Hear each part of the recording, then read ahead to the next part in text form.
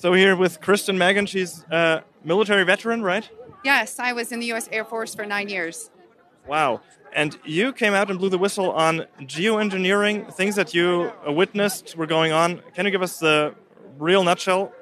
Absolutely. Basically, I had heard of what many people know as the term chemtrails. Um, and I worked in a job called bioenvironmental engineering, and I figured I thought that was insane. And why would we do something like that? Modify the weather by using hazardous materials in our atmosphere. So, and actually, the process of trying to debunk it or disprove it, I realized it was actually coming right out of my office as I was one of the people that was approving the chemicals. And um, it really shook the core of my oath.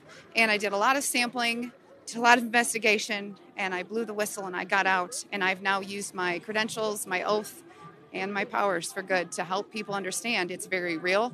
It's now openly admitted. There are multiple forms of weather modification. I specifically found the one of stratospheric aerosol injection.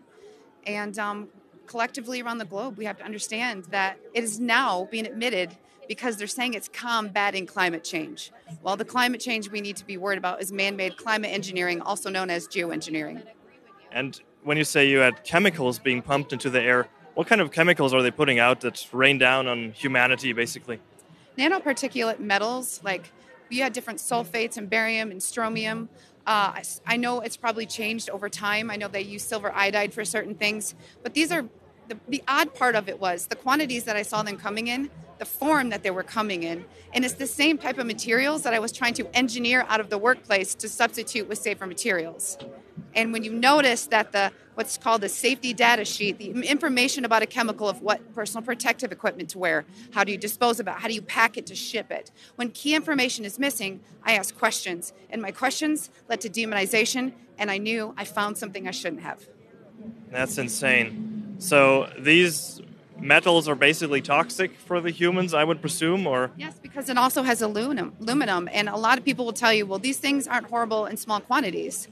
It's not small quantities because when you are putting things above us, the dissipation rates are dependent on weather and climate.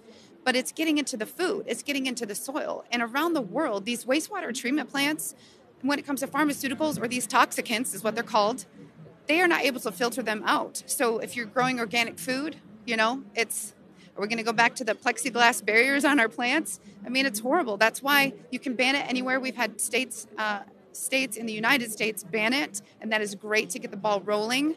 But people really need to wake up to it, irrespective of any political party. It's not okay. And you're seeing a huge increase in neurodegenerative issues like Alzheimer's.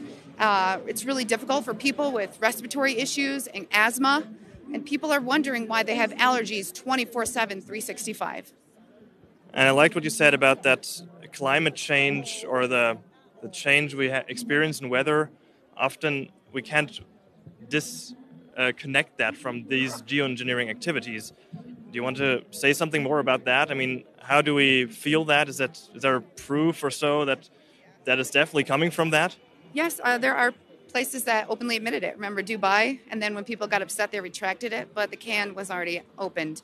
And the issue is I know this sounds silly, but when you watch movies with time change, they say if you do something and something changes, it changes the ripple throughout time. If you are modifying the weather, you are messing with Mother Nature. And meteorology is a very, very thorough study. And I do know a lot of it because of my profession of plotting hazards. But it does not make sense when you are altering nature where things are not naturally supposed to occur.